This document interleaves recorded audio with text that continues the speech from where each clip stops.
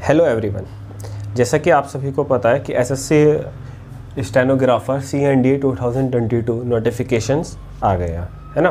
तो हम इसी नोटिफिकेशन के बारे में हम पूरा डिटेल से जानकारी लेने वाले हैं कि हम इसके मतलब हमारी क्या रिक्वायरमेंट्स है ट्वेल्थ के बाद हम इसको अप्लाई कर सकते हैं या नहीं कर सकते?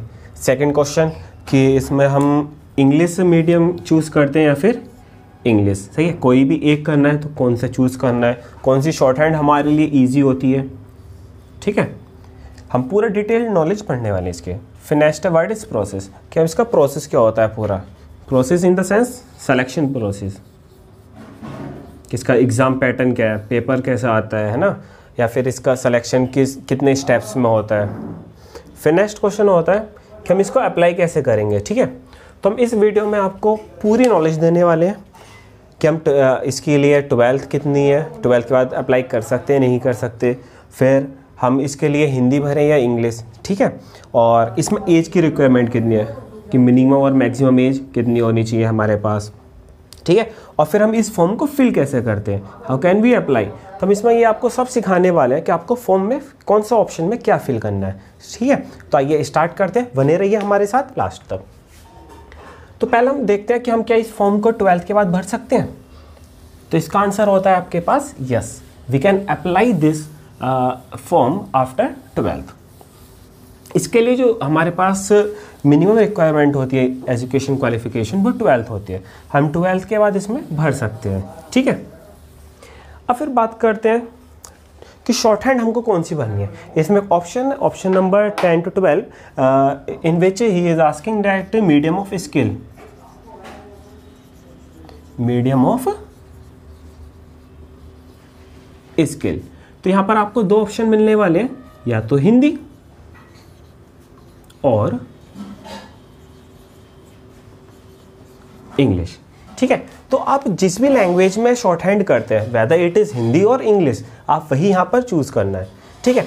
अच्छा चलो, थोड़ा डिस्कशन इसी पे कर लेते हैं कि सर शॉर्ट हैंड कौन सी ईजी होती है? हिंदी और इंग्लिश ठीक है? तो देखो, हिंदी और इंग्लिश कुछ नहीं, दोनों ही हमारे पास कैसी है? ये लैंग्वेज होती है। तो मेनली जो हमारी बैक बैकग्राउंड में लैंग्वेज स्ट्रॉन्ग है, मान लीजिए हमारी इंग्लिश पर अच्छी कमांड है है ना? या फिर हमारी हिंदी पर कमांड अच्छी है। तो हमारे, हमको जोन सी लैंग्वेज अच्छी आती है, जिसमें हमारी स्पेलिंग मिस्टेक्स कम होती हैं, वही हमको कौन सी अपना मीडियम बनाना चाहिए, चाहे वो इंग्लिश स्टाइल हो या फिर हिंदी। इससे ये नेसेसरी नहीं है कि आप अगर C B S E background से हैं तो आपकी इंग्लिश अच्छी है तो आप इंग्लिश से ही भरें इसको, है ना? या फिर आप यूपी बोर्ड से हैं, या फिर in other boards in which your medium is Hindi तो आपको हिंदी स्टेनो भरनी है। नहीं। हो सकता है कि आप यूपी बोर्ड में और आपकी इंग्लिश अच्छी है है ना? स्पेलिंग मिस्टेक्स नहीं होती इंग्लिश में तो आप क्या इंग्लिश को प्रीफर कर सकते हैं, ठीक है? तो स्किल दोनों ही, क्योंकि इनमें दोनों का बेसिक जो होता है वो लगभग बेसिक सेम होता है प्रोसेस पूरा। जितनी मेहनत आपको बेसिक लर्न करने पर इंग्लिश में चाहिए, उतनी ही आपको हिंदी में भी चाहिए। बट दोनों में फिर भी एक प्रेफरेंस अगर हम देखते हैं तो हम इंग्लिश को ज़्यादा देते हैं। अब इंग्लिश को प्रेफरेंस क्यों देते हैं? देखो इंग्लिश का जो यूनिवर्सल हमारे पास कीवर्ड होता है कीवर्ड लेआउट होती है इसका एक ही कीबोर्ड होता है इंग्लिश का। कहीं भी चले जाओ आप या किसी भी सॉफ्टवेयर पर टाइपिंग करो तो इंग्लिश का सॉफ्टवेयर ओनली वन होता है। बट जब हम बात करते हैं हिंदी के लिए तो हिंदी के पास आ, हिंदी में हमारे पास बहुत सारे ऑप्शंस होते हैं। बहुत सारे फ़ॉन्ट्स इसमें अवेलेबल हैं। फ़ॉन्ट्स टाइपिंग फ़ॉन्ट जैसे कि हमारे पास इसमें आता है क्रूति। क्रूति देव बहुत ज़्यादा पॉपुलर है। Ten eleven sixteen. ठीक है, फिर इसी में एक सेकंड लेआउट आ जाती है मंगल। मंगल, अब मंगल के अंदर भी बहुत सारे सब फॉन्ट्स हैं इसके अंदर। जैसे सी बी आई रेमिंगटन गेल तो हम गेल लिख लेते हैं ओनली फिर नेक्स्ट इन स्क्रिप्ट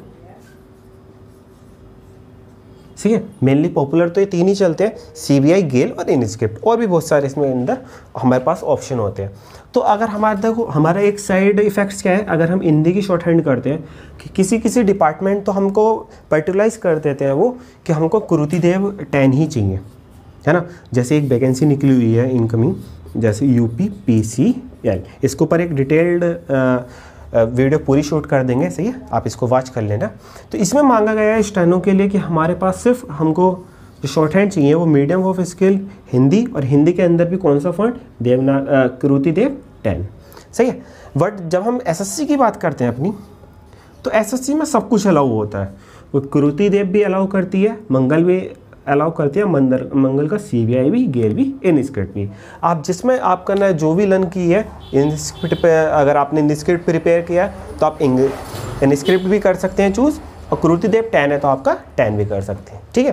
तो बस थोड़ा सा side effect Hindi short hand का यही आ जाता है कि डिपार्टमेंट वाइज कभी कभी हमको नॉलेज नहीं होती, हम बिना नोटिफिकेशन पढ़े अप्लाई कर देते हैं, बाद में मानो हमारा तो था Inscript font but skill में मांगा था क्रूति देव टेन तो हम क्या करते हैं, यहाँ पर बहुत ज़्यादा फिर प्रॉब्लम्स आती हैं। तो ये सब साइड इफ़ेक्ट्स इंग्लिश की नहीं है, क्योंकि यूनिवर्स इंग्लिश का यूनिवर्सल एक ही कीबोर्ड है जो हमारा लेआउट होती है। सिर्फ़ इसमें सिर्फ़ क्या है हमारे पास? सिक्स ट्वेंटी सिक्स अल्फ़ाबेट्स है। यही। और वो भी हमारे कीबोर्ड के ऊपर शो होते हैं ना? हिंदी की एक सबसे बड़ी ड्रॉबैक क्या है इसका? कि इसका जो कीबोर्ड होता है कीबोर्ड के ऊपर कुछ मेंशन नहीं होता। वो सिर्फ़ इंग्लिश मेंशन होती है और हमको अपने आप उसको यूज़ करना होता है, ठीक है? अगर इनकी थोड़ी थोड़ी बात करते हैं। मान लीजिए, अगर हम टाइपिंग स्टार्ट करते हैं कि हमको क्रोतिदेव करना चाहिए इनस्क्रिप्ट या मंगल तो इसमें सबसे बेस्ट जो फॉन्ट होता है, वो होता है हमारे पास इनस्क्रिप्ट क्योंकि इसमें नो कोड कोई भी कोड यूज़ नहीं होता। ये मान लीजिए, जैसा अपना इंग्लिश का लेआउट है ना, उसी तरीके से इनस्क्रिप्ट है हिंदी का। हिंदी में कोई भी एक भी कोड नहीं यूज़ होता ठीक है? कुछ पंचुएशन का होता है तो पंचुएशन का आप अगर यूज़ करना चाहते हैं तो कर लीजिए कोड वरना वो भी हम डायरेक्ट कीबोर्ड से बना सकते हैं। ठीक है? तो आई थिंक अब तो आपका क्लियर हो गया होगा डाउट कि हमें हिंदी का करना चाहिए शॉर्ट हैंड या फिर इंग्लिश की। आप दोनों कर सकते हैं, जिस पर आपकी लैंग्वेज पर कमांड है। ठीक है? तो हमारा एक क्वेश्चन क्लियर हो गया कि हम इसको हिंदी से अप्लाई करें या इंग्लिश से। लेकिन हाँ चूज़ करते समय जब आप ऑप्शन चूज़ करेंगे तो बहुत ज़्यादा केयरफुल रहना है आपको। क्यों? क्योंकि बाद में एसएससी फैसिलिटी नहीं देती हमको कि हम इसको अपने मीडियम ऑफ़ स्किल चेंज कर सकते हैं। हमको पहले ही चूज़ करना होगा, अभी। अगर हम करते हैं हिंदी की तो हमको फाइनली स्किल भी किसमें देना होगा? हिंदी में। अगर हम करते हैं इंग्लिश अभी चूज़ तो हमको फाइनली भी किसमें देना होगा? इंग्लिश में। ठीक है? तो आई थिंक आपके ये डाउट तो क्लियर हो गया होगा। चलो फिर हम आगे चलते हैं थोड़ा। देखो एसएससी स्टेनोग्राफर इसी पे लिखा है इनका नोटिफिकेशन सी डी तो ये सी और डी में क्या डिफरेंस है? इसको थोड़ा डिफरेंस देख लेते हैं कि सी और डी के अंदर डिफरेंस क्या होता है। प्रायोरिटी हमको किसको देनी चाहिए, ठीक है? तो देखो तो स्टेनोग्राफर सी और डी ये दो ग्रेड के नाम है हमारा। नो ग्रेड वर्ड को छुपाया है यहाँ पर, सिर्फ़ डायरेक्ट बोल दिया सी एंड डी तो हम पास ग्रेड होती है, एक ग्रेड तो होती है डी और एक होती है अपने पास सी। ठीक है? अब दोनों की रिक्वायरमेंट्स क्या होती हैं? दोनों का ही पेपर जो है रिटर्न पेपर दोनों का कंबाइन होता है।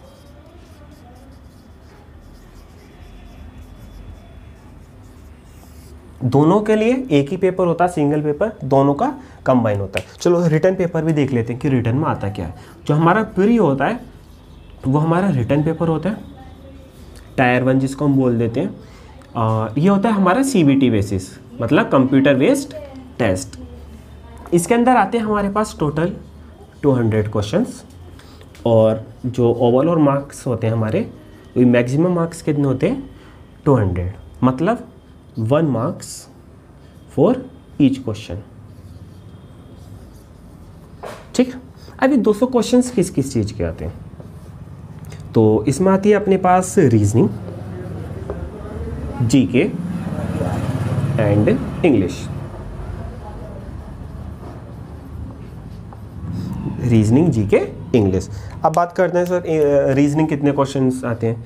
तो रीजनिंग के आते हैं? Fifty questions fifty marks G K fifty questions fifty marks English English आती है हमारी हंड्रेड क्वेश्चन हंड्रेड मार्क्स क्या क्या सर, इसमें मैथ्स आती है? No no.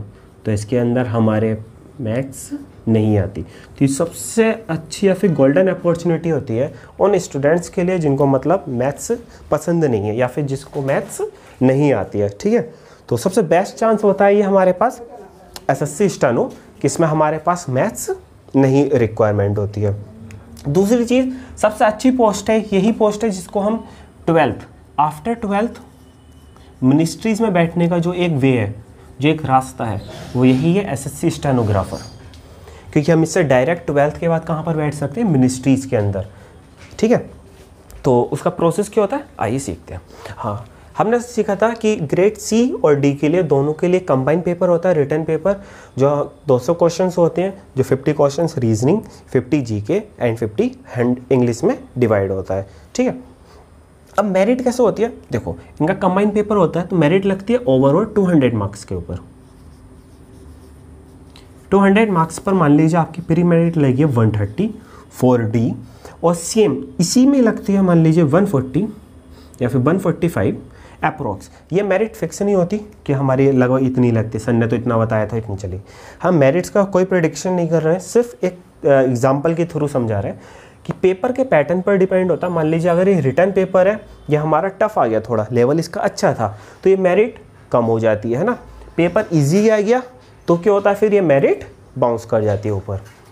लेकिन होता क्या है थोड़ा सा लगभग दोनों के बीच में पाँच से दस मार्क्स का फ़र्क होता है। हम जनरल के टॉपिक पर बात करेंगे सिर्फ़, ठीक है? तो मतलब क्या होता है, मान लीजिए 200 पेपर का तो क्वेश्चन होती है, मान रखे तो होते ही है। तो मेरिट हमारी लगी डी के लिए वन थर्टी एंड सी के लिए वन फिफ्टी तो आई थिंक ये तो नोट डाउन हो गया ना आपका? समझ आ गया होगा ये तो है ना? इसको इरेज करते हैं थोड़ा। अब मान लीजिए कोई स्टूडेंट है, ठीक है? जिसके आते हैं वन फिफ्टी मार्क्स जिसने अचीव किए वन फिफ्टी मार्क्स तो इसके पास दोनों ऑप्शन होते हैं। ये स्किल के लिए अपीयर जब होता है है ना? तो ये दोनों की स्किल देता है। ग्रेड सी और ग्रेड डी दोनों के लिए। बट एक स्टूडेंट है जिसके मार्क्स आते हैं, इससे 145 से कम। मान लीजिए उसके आते हैं 144 और या फिर हम ऐसे ही देख लेते हैं बिलो 144 तो ये ओनली अपियर किसमें हुआ? ओनली डी के लिए। ये सी के लिए क्वालिफाई नहीं करेगा। सही है? तो ये मान लीजिए अगर हमारे रिटर्न में अच्छे नंबर आते हैं, हम अच्छे नंबर सिक्योर कर जाते हैं तो हमारे पास एक ही एग्ज़ाम से दो ऑप्शंस खुल जाते हैं ग्रेड सी के लिए और ग्रेड डी के लिए। सी और डी में क्या डिफरेंस होता है? अभी हम आगे देखने वाले अभी हम सिर्फ़ इतना समझते हैं। ठीक है? तो चलो, अब डिफरेंस सी और डी में है क्या हमारे पास? तो हमने समझ लिया कि पेपर कैसा होना है इसका और मेरिट का बेसिस क्या होता है। देखो, जो डी होती है। इसको बोलते हैं स्टेनोग्राफर। या फिर स्टेनो। ठीक है? और जो डी वाली पोस्ट हो सी वाली पोस्ट होती है, इसको बोलते हैं पीए बोलते तो हम स्टेनो ही है, लेकिन ये मेन पोस्ट होती है पीए की। पर्सनल असिस्टेंट या फिर पीएस पर्सनल सेक्रेटरी ठीक है? अब इसकी रिक्वायरमेंट क्या होती है? जो डिक्टेशन होती है तो स्पीड की रिक्वायरमेंट कितनी होती है? यहाँ पर हम देख लेते हैं स्पीड अगर हम बात करते हैं स्टेनोग्राफर ग्रेड डी के लिए तो इसके लिए डी के लिए रिक्वायरमेंट होती है 80 वर्ड पर मिनट मतलब हमको जो डिक्टेशन मिलने वाला है, वो 80 वर्ड्स पर मिनट का मिलेगा। और अगर हम सी की बात करते हैं तो सी में 100 वर्ड्स पर मिनट ठीक है? अब बोल रहे कितनी मिनट ड्यूरेशन होगी इसकी? ड्यूरेशन ऑफ़ स्किल या फिर डिक्टेशन तो हमारी ड्यूरेशन होती है इसकी टेन मिनट्स टेन मिनट्स हमको डी के लिए और टेन ही मिनट्स में होते हैं सी के लिए. क्लियर है? बात करते हैं वर्ड्स कितने होते हैं. ओवरऑल टोटल वर्ड्स कितने होते हैं हमारे पास? तो टोटल वर्ड्स अगर हम देखते हैं फॉर स्टेनोग्राफर डी तो eighty into ten equal to eight hundred words something something eight hundred words and for C one thousand words ठीक है? तो हमारे पास अगर हम बात करते हैं कि इन दोनों की कि हमारे पास एसएससी में सी और डी के लिए कितना कितने वर्ड्स होते हैं तो हमारे पास पैसेज होता है फॉर डी ग्रेड 800 वर्ड और इंग्लिश वाले के लिए सॉरी uh, और सी वाले के लिए होते हैं हमारे पास हज़ार वर्ड्स अगर हम बात करते हैं टाइमिंग की कि हमको इसमें कितना कितना टाइम मिलता है इनको ट्रांसलेशन के लिए ठीक है? तो ट्रांसलेशन के लिए हमको इनको मिलता है। अगर हम बात करते हैं टाइम की यहाँ पर लिख लेते हैं ना थोड़ा सा। टाइम सही अब ये दोनों होते हैं इंग्लिश भी और हिंदी चलो यहाँ पर लिख लेते हैं टाइम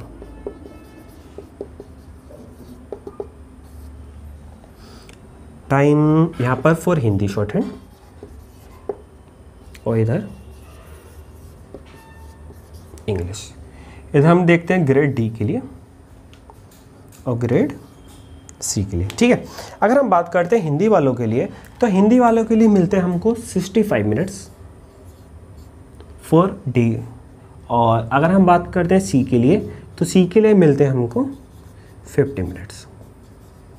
55 मिनट्स, ठीक है? डिक्टेशन दोनों का टेन टेन मिनट्स होने वाला है। डिक्टेशन टेन ही मिनट का होगा, लेकिन टाइपिंग के लिए। टाइमिंग फॉर टाइपिंग छोड़कर हम ट्रांसलेटिंग लिखते हैं। जब हम शॉर्ट हैंड लिखने वाले हैं, उसको ट्रांसलेट करने के लिए हमको कितना टाइम मिलने वाला है? हिंदी वालों के लिए डी ग्रेड के लिए लेंगे 65 मिनट्स और सी वाले के लिए मिलते हैं 55 मिनट्स और अगर हम बात करते हैं इंग्लिश के लिए तो इंग्लिश के लिए हमको मिलते हैं ग्रेड डी डी के लिए 50 minutes and for grade C 40 minutes ठीक है?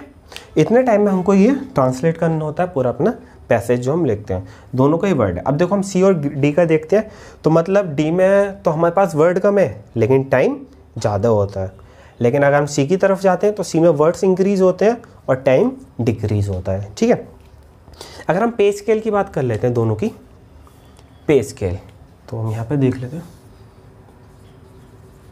पे स्केल तो हमें डी में मिलता है, लगभग जो इनहैंड हमारी सैलरी आती है, वो लगभग fifty thousand thirty five thousand के। मतलब पैंतीस हज़ार से ज़्यादा हमारे इन हैंड आती है आफ्टर ऑल डिडक्शंस। सी के लिए सी के लिए लगभग आती है अपनी thirty five forty. Forty five plus मान लेते हैं। हम बिल्कुल बेसिक ले रहे हैं मिनिमम सी है फोर्टी फाइव के प्लस तो हमारी जो मंथली सैलरी होती है, हमको अगर डी के लिए क्वालिफाई करते हैं तो डी में मिलती है हमको थर्टी फाइव थाउज़ेंड और सी में मिलती है हमको फोर्टी फाइव के अगर हम इसकी वर्किंग आवर देखते हैं या फिर वर्किंग डेज़ देखते हैं तो वर्किंग डे होता है अपना इसके में Monday to Friday Monday to Friday मतलब हमारे पास यहाँ पर दो हॉलीडे होते हैं. सैटरडे संडे हॉलीडे ठीक है? सैटरडे और संडे हॉलीडे होती है। इसकी अगर पोस्टिंग की बात करते हैं तो पोस्टिंग होती है ऑल ओवर इंडिया। इंडिया के अंदर सभी जितने भी हमारे डिपार्टमेंट्स या मिनिस्ट्रीज हैं, जो हमारी सेंट्रल गवर्नमेंट के थ्रू रन होती है तो उसी में हम सभी को, वही डिपार्टमेंट्स हमको इनको पोस्टिंग में मिलते हैं। ठीक है? तो आई थिंक आप सब कुछ क्लियर हो गया होगा कि शॉर्ट हैंड हमको कौन सी करनी चाहिए, हिंदी या इंग्लिश फिर दूसरी, इसकी रिक्वायरमेंट्स क्या होती है, हम ट्वेल्थ के बाद इसको अप्लाई कर सकते हैं टू टेल एनी ग्रेजुएशन और एनी डिग्री ठीक है?